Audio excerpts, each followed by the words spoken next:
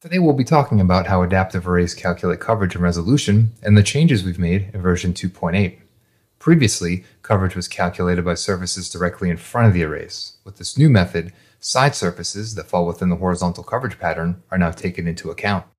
Because the new method may change coverage and aiming lines on files using the original method, we've created a switchable option under Options then Adaptive Venue Detection. Narrow is the default when resolution first opens and represents the original method, and wide represents the updated method. Additionally, new options have been added to the View menu.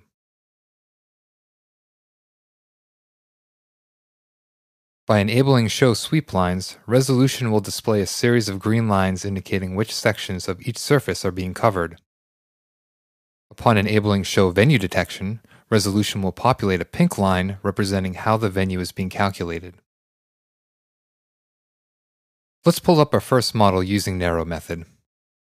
We'll be looking at a section of a stadium with part of the top bowl deselected as an audience area.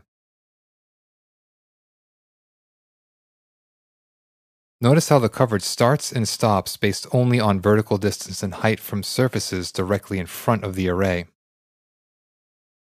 This is further illustrated by observing aiming lines in IsoView.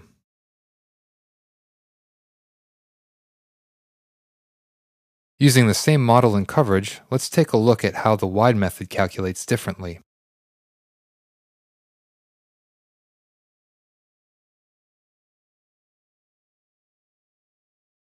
Even though the specified coverage stops previous to the top of the bowl, you can see aiming lines are extended to compensate for surfaces off to the side. The green sweep lines indicate which part of the surface is being calculated. Coverage may also be extended beyond the specified start and end values.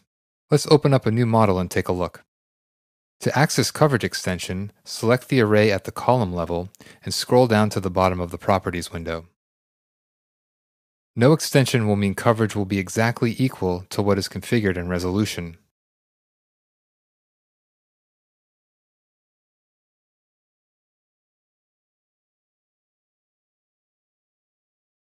Choosing hard, medium, soft, respectively 0, negative 3, and negative 6 dB.